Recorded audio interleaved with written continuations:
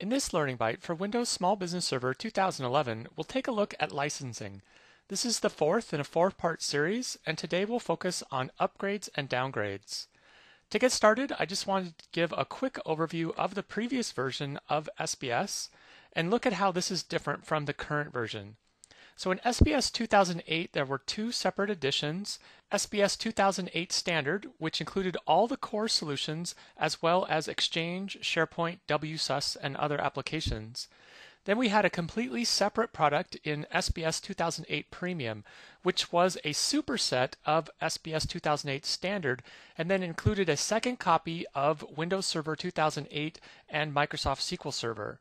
So when we look at the current version of SBS 2011, things are just a little bit different. We still have the same set of core solutions, including remote access, identity protection, backup, file and print sharing, all based on the Windows Server platform, and then including a simplified management interface.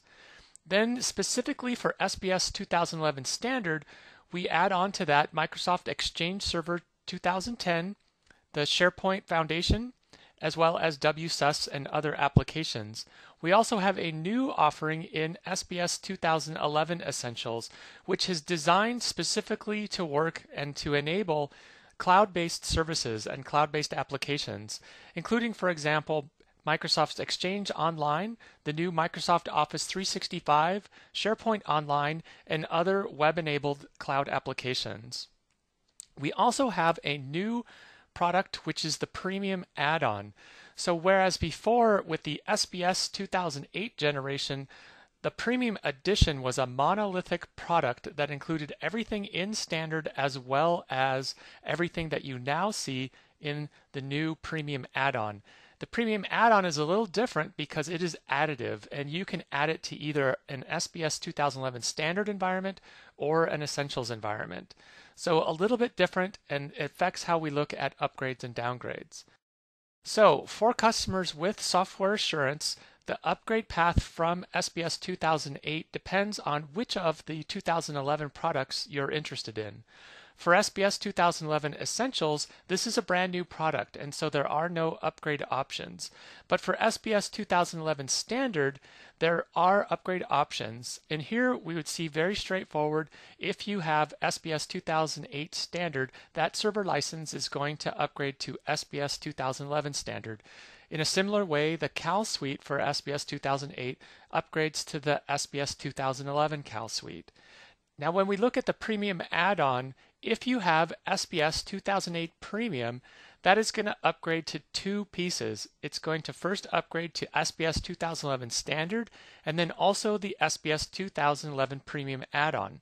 In the same way, the CAL suite for SBS 2008 Premium is going to upgrade to the SBS 2011 CAL suite and also the SBS 2011 Premium add on CAL suite.